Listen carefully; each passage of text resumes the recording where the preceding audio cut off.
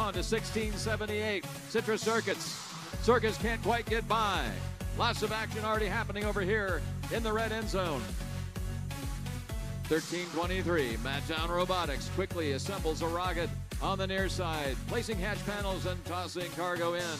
Their partner, Greybots, doing the same for the Blue Alliance rocket near the scoring tables.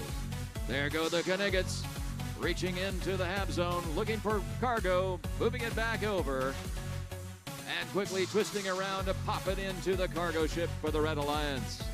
71 79. Crossfire also grabs cargo for the Red Alliance, drops that into the rocket for the Red. And just as fast, 1323 Madtown Robotics grabbing cargo left and right, filling the rocket ship on the near side. A scrum has developed here near the scoring table between 1678 and 5026. They break, they move around. 1678 appears to be Looks like they're dead in the water right now. Let's see if they can continue to move.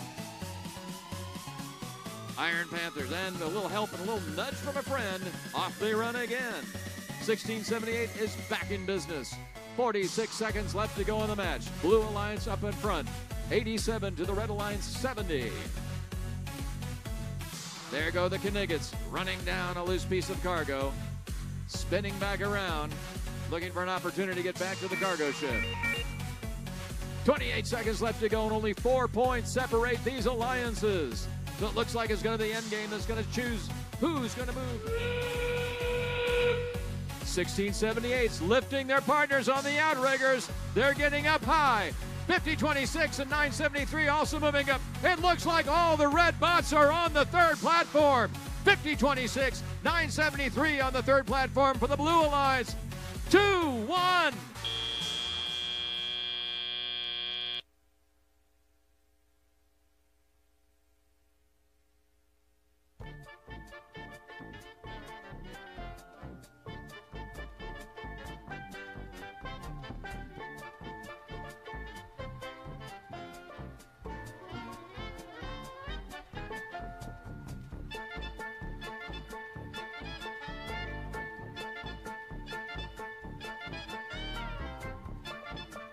And here's your final score.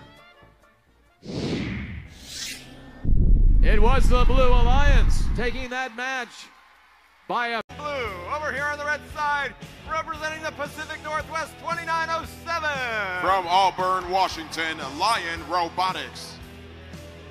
Team 148. From Greenville, Texas, the Robo Wranglers. And also representing the great state of Texas, 3847. From Houston, Texas, Spectrum.